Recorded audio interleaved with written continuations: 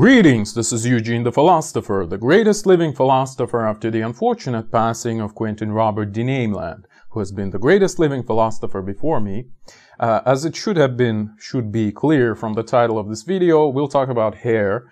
And as it is, is apparent probably from uh, my look, um, at least if you compare it to the previous video, uh, the motivation should be pretty clear, right? So uh, I do this uh, every year. Um, like uh, I only cut my hair once per year, like like that for like I leave only like three millimeters.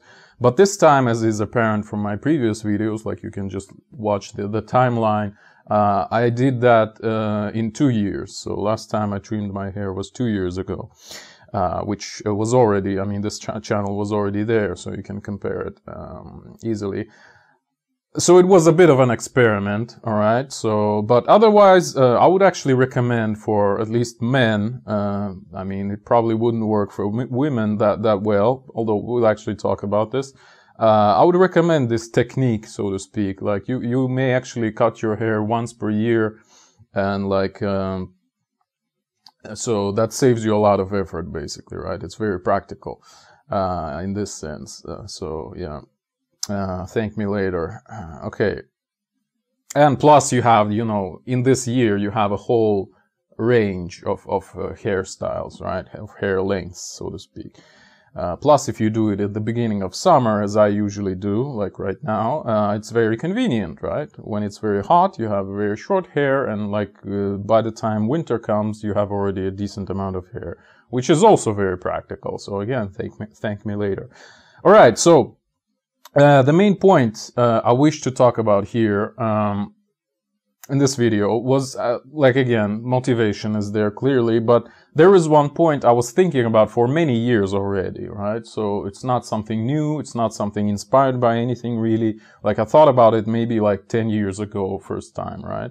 And I was just like carrying this thought and I didn't really find any counter evidence to it. So I think it's a valid point. So I want to make it. Uh, and this point is really the, the most of the content of this video, right? The point I, I wish to make. But first, I wish to introduce a caveat to this point is that it probably doesn't work, uh, like it probably depends on culture, right? So in some cultures, of course, uh, some certain hairstyles are required due to either like tradition, religious uh, practices or something like that, right? So uh, in some cultures, you would find, let's say, men with some special hairstyles like warrior type of men, right? I don't know, whatever, like all those kinds of things, like some religious people would have a different hairstyle or whatever. Uh, but the point works. Oh, there's actually a pretty violent uh, rain right behind me because there's a balcony with an open door. Like, who knows? Maybe we'll actually have a, uh, this time a ball lightning cameo, you know, like it was a fly cameo in the previous video. Okay, whatever. Um, so, uh, the point I'm making would be the most valid for Western society, like modern westernized society, where it is roughly speaking, acceptable to have any sort of hair you like, right? For both men and women. So this is what I'm talking about. In this setup, it would be very, very, uh, like, uh, uh, uh, applicable, acceptable, I guess, what I'm going to talk about. And in particular, the main point I wish to make in this video, this point that I was thinking about, is that roughly speaking, hair length is that a person chooses, again, on, off or on their own volition for themselves, is proportional to the distance that this person wants to keep between them and the other people, right? So the hair length is proportional to the distance to other people that they wish to keep, right? Meaning, roughly speaking, that short hair, hair type of people, this, this length of hair, sort of, or a little bit longer, like maybe a few centimeters long, uh, they are sort of close up people, up, up front, like, um, bold kind of, you know, being right there, straightforward kind of people. Whereas longer hair people are more distanced, right? So this is what I'm talking about essentially. This is the main, the main point. So, and it's kind of an intuitive point, but I think there is clear, like, again, like half emotional evidence to it. Like you can just try it out, try to think through it, and you would see, oh, that actually makes sense, right? So in this way, uh, you can see that people who want to maintain some sort of mystery, maybe maintain some sort of I, idola, I, idolic, I don't know, iconic status for themselves, uh, people who pursue admiration of others, uh, always have long hair, or, well, frequently, let's say, right? Uh, people who want to, so, so they want to keep their distance. They want people to, like, uh, for example, uh, to idolize them, so to put them at a pedestal, so that, that means other people are kind of far away, right? So they're not among them, they're somewhere out there, so to speak. Uh, or people who want some sort of shielding, so to speak, from other people. You know, you kind of surround yourself in this mist of hair, right? So you, you are something almost uh, unreachable, uh, and thus safe, you know. So you may have longer hair for this reason, for example. Um, so think about uh, like a any sort of like mystic people, like religious figures. Again, that depends on religion a lot. Like Buddhists have no hair, basically, right? Like they shave their heads, etc. Uh, but uh, again, in if you think about a random religious person that might appear just right now, I mean, we all, we all have this image of Jesus with long hair, right? So th- that's always, which again, I, have already discussed this how in my video, uh, Deception Artist's Impression where I talked about how this imagery of Jesus is actually very new. So we have no idea how he actually looked. Uh, in, in, in reality, whatever you like uh, to, to call it that, uh, etc. But if you think about a random religious person, you would probably picture them with the long hair, right? Because they, they should have this aura of mysticism around them, which is only uh, uh, achievable through longer hair. Okay, so, and this creates some sort of distance between you and them, right? So, this is basically an illustration of what I'm talking about. And on the other hand, people with shorter hair, they're usually perceived as, as sort of dull, you know, uninteresting in some sense, uh, simple, straightforward, um, taken at face value, sort of, uh, true in some other sense, like they, they're not deceptive, right? They, they are exactly like they look, right? There's nothing, hidden behind this uh, aura of, of hair. Uh, you can clearly see them, etc. Their ears, for example, uh, which might be more of a you know behaviorist kind of thing. So if you see much more of their face due to the lack of hair, it's actually more, um, you know, just on a pure, like very fundamental, emotional, intuitive level, feels more safe, right? Because, well, you can see everything. It's kind of like this, uh, hands up uh, thing, right? You don't see any weapons, uh, so you, you, feel safer. So this is the sign of a surrender, essentially. I have nothing, you know, behind me. I have no hidden agendas, etc. Uh, like I, I, am in your power right now. I'm delivering myself to your domain, so to speak, etc., etc. So people with shorter hair tend to be perceived as kind of like open bold, kind of again straightforward, up up close type of people. Uh, risky, maybe, maybe uh, something like that. Selfless, even because they have nothing to hide, they have nothing to lose to some degree, right? Etc., etc. So for this reason, again, in our Western civilization, men are preferably, and again, I'm talking about like recent couple of centuries because obviously it depends on culture. Like in, I don't know, 18th, 17th century, men tend to wear, you know, these ridiculous whitewashed wigs, etc. Uh, so I'm talking about the, the modern civilization. Uh, even like the, the, the very modern one, where women uh, mostly had longer hair and men had shorter hair, right?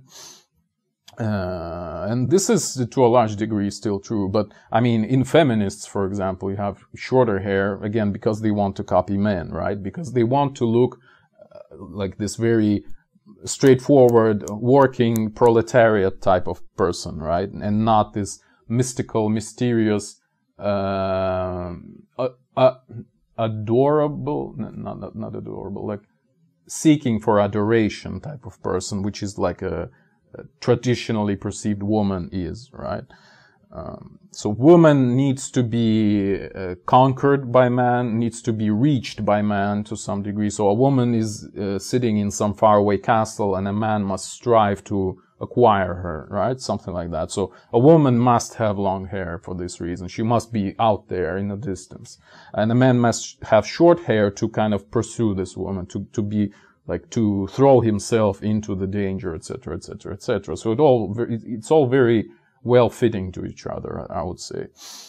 Um, but of course, again, in many situations, it may be reversed. Like if a woman wants to be perceived as a more simple, as a, like a, you know, some, this sort of like a hippie, sort of like a, uh, homeless type of person, you know, like, I, I, oh, I'm very open, I'm, I'm very different, I'm very blah, blah, blah, uh, I'm very straightforward, I'm very honest, etc. So she would have a shorter hair uh, to show all of that, right?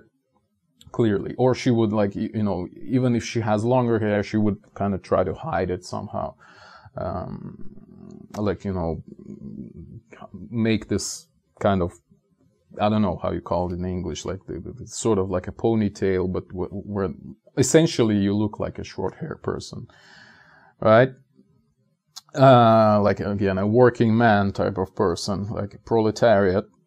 Okay, so this is this is one point, the key point I wanted to communicate in this video, and hopefully I did. Uh,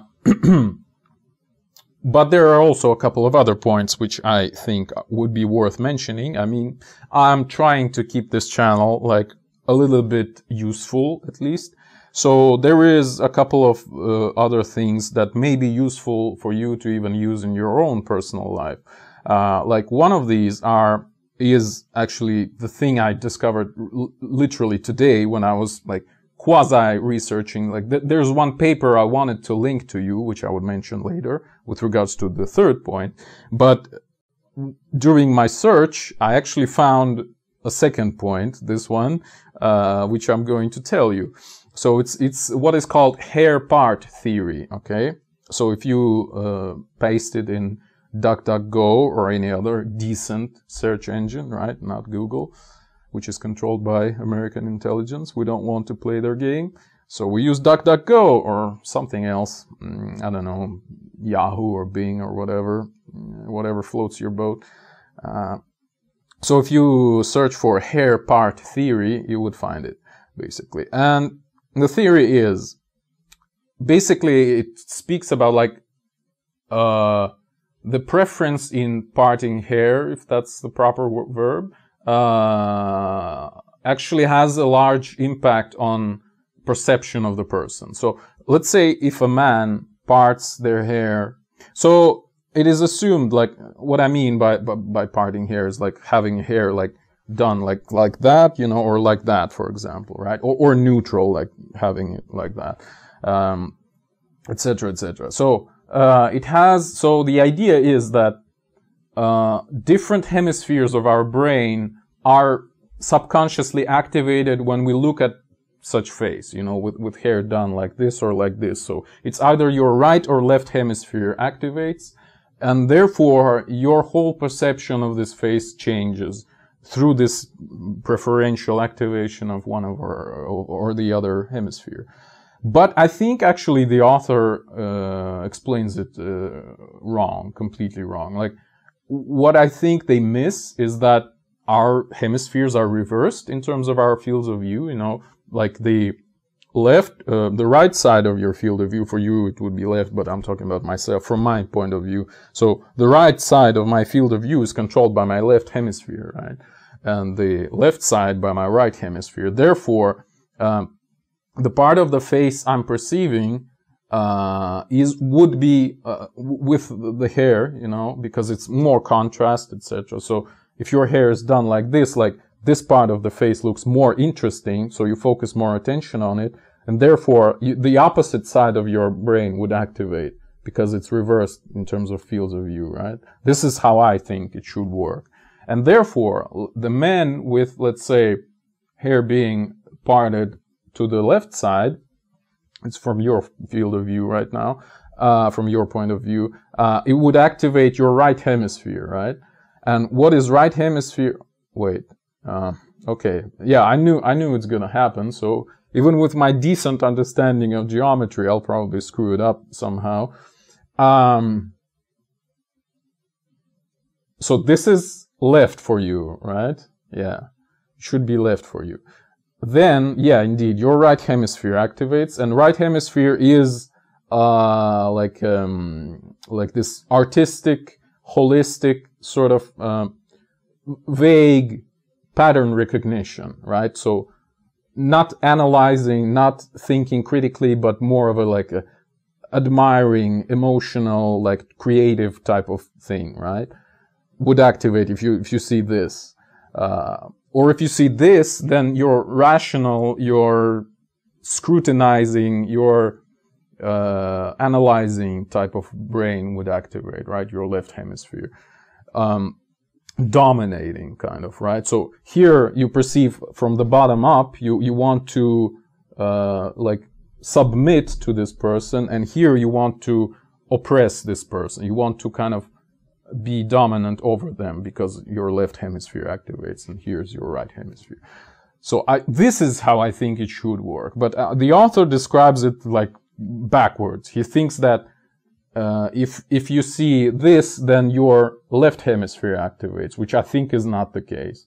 So he, his explanation is reversed. But nevertheless, I think that the point he makes is that that it matters, and it matters probably a lot, is actually a valid point. So I would recommend you to look into it, like in your own life, uh, like how you, you know, make your hair, etc uh, because it, it actually looks important in my opinion.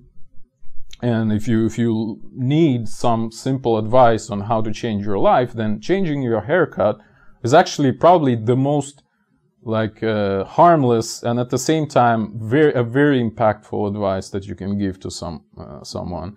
I mean, women do it all the time, so maybe men should try it as well. Uh, it might it might work especially looking at, I mean, most men have the same hairstyle, like throughout all of their life, right? So if, if they try to change something in their life, maybe hair is not the worst place to start. And I, I mean that seriously. I mean, it sounds ridiculous because you would think, you would think, well, how would it impact anything? But it actually would because people would react to you differently. And I mean, this is the, the thing that a lot of men have problems with, right? Like assessing how society actually views them, right? A lot of men has poor style. They dress like, I don't know, like shit. So these things are certainly worth looking at, right? And I don't exclude myself from this, by the way. I'm, I'm including myself into the lot of men that I'm talking about. All right. Uh, yeah. This is more or less what I wanted to say about hair part theory. Look, look it up. It's really, it really looks like it works. But again, keep in mind my objections to it. I think the explanation should be reversed. Uh, like again, there's a brilliant example that the author gives with Bruce Willis's smirk, you know, kind of like um, like huh, this one.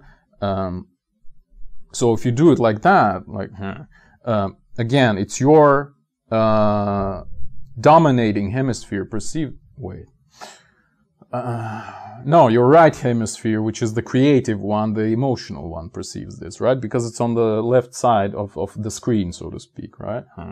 Um, but if it's on the right side of the screen, if you just mirror image it, uh, it would look very, very, very sarcastic, you know, very evil almost.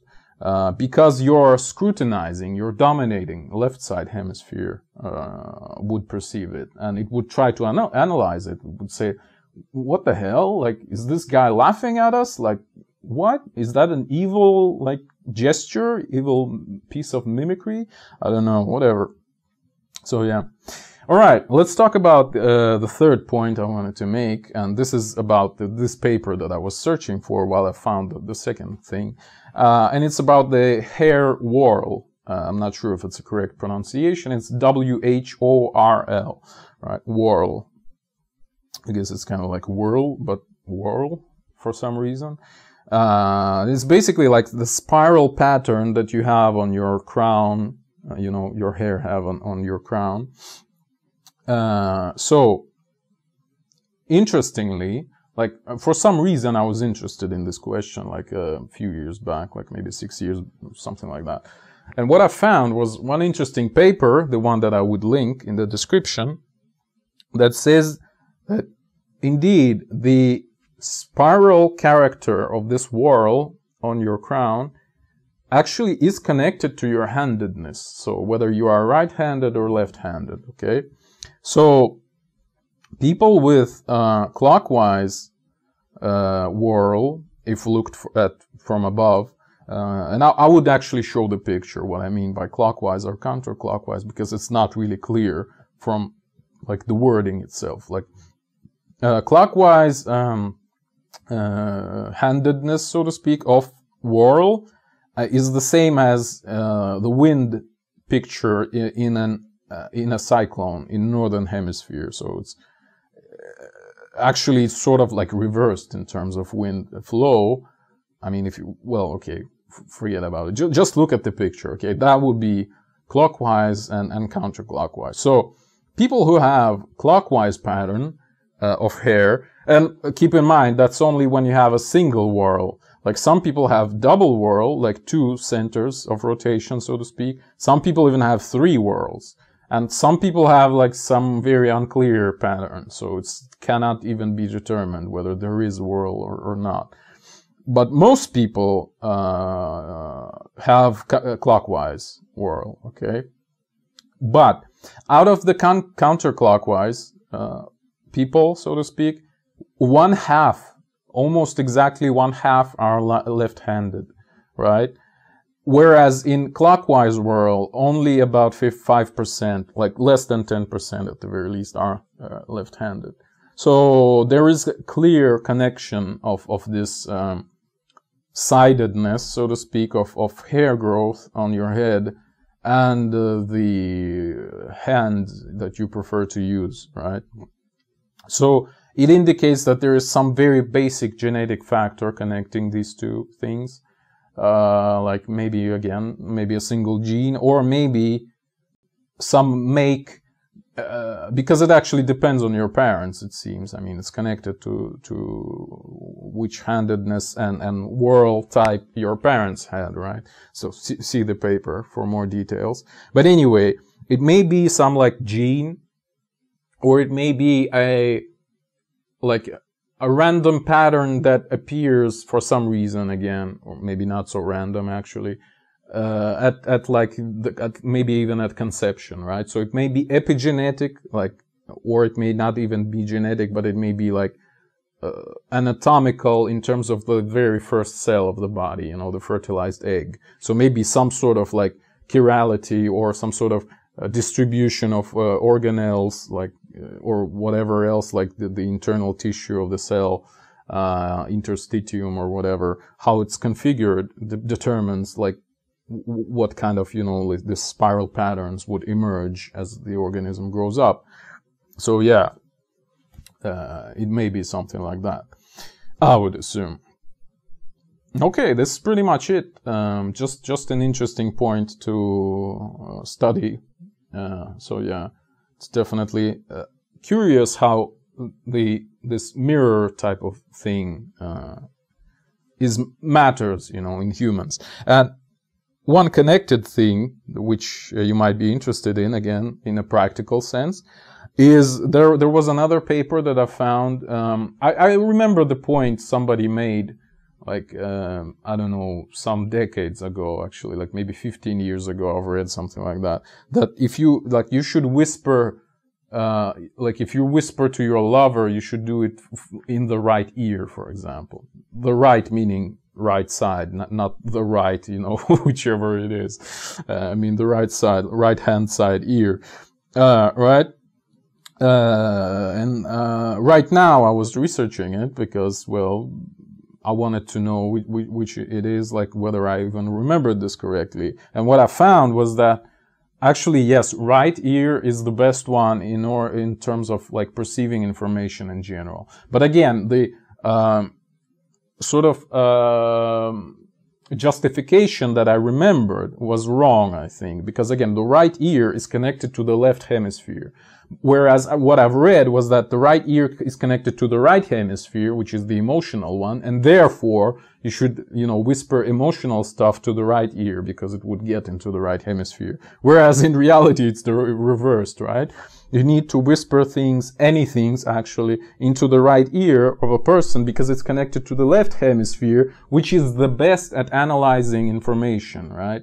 Because uh, as the study shows, or at least the, it's the conclusion that the author makes, is that if you whisper things in the left ear, like some information is being lost or it's not processed as quickly, etc., etc. Therefore, the response is not achieved in some, in, in a larger amount of cases, right? So you need to use the right ear, which is, you know, a faster route to the left hemisphere where the sound is actually processed. At least the, the most, right? The best. So you have to use right ear. Uh, long story short. Okay. Yeah.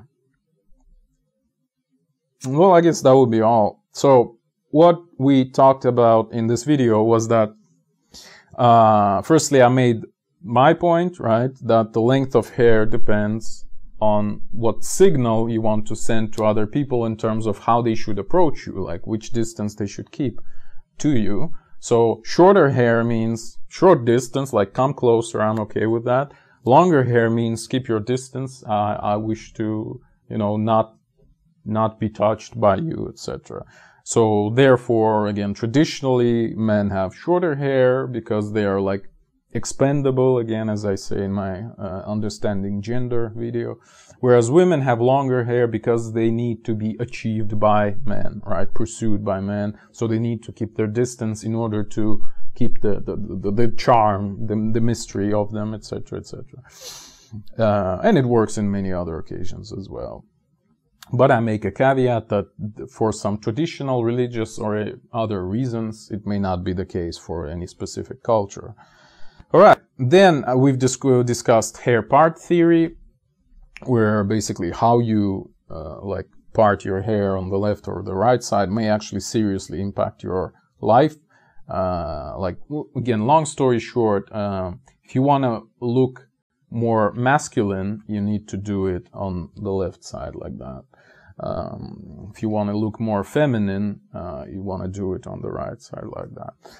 Uh, but I think, again, the explanation that the author gives is wrong. Uh, and I propose my own explanation where, uh, again, it's the reverse hemisphere that perceives this. So if you do look at per- a person with hair done like that, uh, your right hemisphere activates, which perceives them from the bottom up, from a sort of an emotional, holistic standpoint. Whereas if you perceive a person with hair done like that, your uh, logical, sort of cold, uh, analytical hemisphere activates, right? The left one.